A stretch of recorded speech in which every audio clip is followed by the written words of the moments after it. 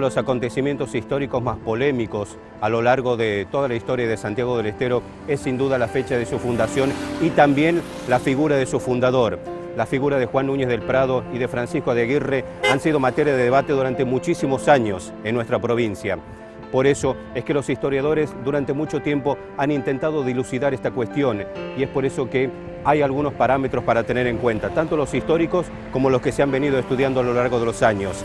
Y si hay algo que ya no queda ninguna duda en nuestra provincia, es que Juan Núñez del Prado debe considerarse el fundador de nuestra ciudad capital de Santiago del Estero, después de este proceso emancipador que tuvo la provincia a lo largo de los años, que comenzó con Diego de Rojas y que finalizó con Francisco de Aguirre el 25 de julio del año 1553. No hay, no hay dudas actualmente, el, fundador fue Juan Núñez de Prado. El 29 de mayo de 1550 fundó la ciudad con el nombre de Barco, porque era la ciudad natal Barco de Ávila de, quien lo había encomendado, eh, que es el licenciado Pedro de la Gasca, y funda en cercanías del actual Montero en Tucumán, más precisamente en la quebrada del Portugués, a 20 kilómetros de donde estuvo después Cañete, que desapareció fundada por Juan Pérez de Zurita y donde estuvo San Miguel de Tucumán en el lugar original. A los 120 años se trasladó a la toma, que es donde está actualmente. Eh, después, por problemas acaecidos, no, no voy a abundar ahora, pero que son muy interesantes, con eh, la jurisdicción de Chile, aparece Villagra, lugarteniente de Valdivia, y lo hace lo fuerza a renunciar a, su situación de fundador y de capitán, no de fundador, no de fundador, de capitán general y justicia mayor, entonces, y, lo deja como lugarteniente de Valdivia.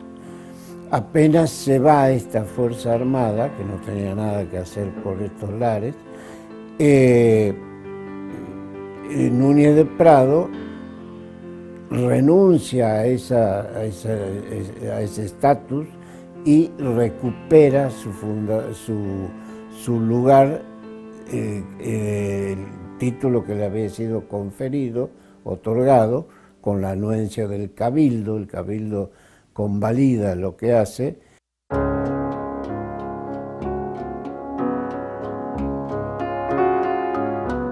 Dilucidada ya la polémica histórica a propósito de quién fundó Santiago del Estero, si Juan Núñez del Prado o Francisco de Aguirre, en este diálogo que estamos teniendo con el doctor Raúl Lima, vamos a tratar de dilucidar otras dos cuestiones y que tiene que ver qué pasó aquel 25 de julio de 1553 y cómo lo juzga la historia también a Francisco de Aguirre y cómo a lo largo de los años Santiago del Estero lo ha venido homenajeando, si se quiere, a propósito de lo que fue su paso histórico por estas tierras.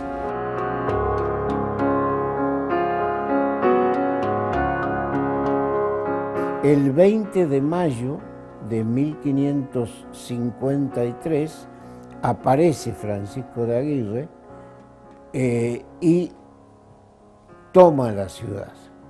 Toma la ciudad. Eh, eh, Núñez de Prado no estaba, había ido con la mitad de los hombres, o sea, con 30, eran 60, había ido al Famatina a buscar minas. Eh, no nos olvidemos que él fue alcalde de Minas antes de venir aquí. Y Aguirre toma la ciudad hace requisar, viene con una fuerza de 60 hombres también, pero muy bien armados, y hace requisar las casas de los vecinos y se apodera de las armas y les dice, mañana los quiero a todos reunidos, por lo pronto el cabildo y después en la plaza a todos los vecinos. A Núñez de Prado no lo espera, lo manda a capturar en el camino, vienen presos ya a, la ciudad de Barco, en su tercer asentamiento. Era una ciudad que estaba en perfecto funcionamiento. Funcionaba el cabildo, él no la había abandonado, iba a buscar otros medios de vida, como podían haber sido las minas del Famatina. Cuando a Núñez de Prado lo toma preso eh, y le lee a la plaza, reunidos los vecinos, antes al cabildo, le lee la provisión que él traía de Valdivia. Era un Valdivia que estaba totalmente desmadrado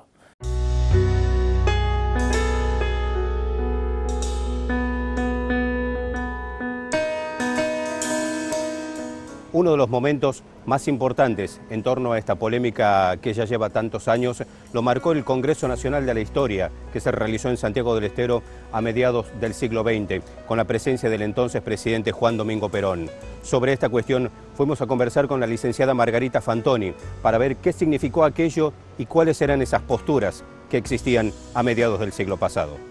Eh, sí es verdad que en la década del 50 y sobre todo cuando se realiza el primer Congreso de Historia en Santiago del Estero, que coincide con la visita de, Perón concretamente, hay todos historiadores como Gargaro, como mm, eh, Canal Feijó, que están sosteniendo a la figura de Francisco de Aguirre.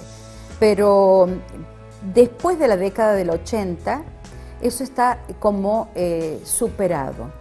Eh, creo que es Núñez del Prado el que resignifica esta figura de fundador de Santiago del Estero.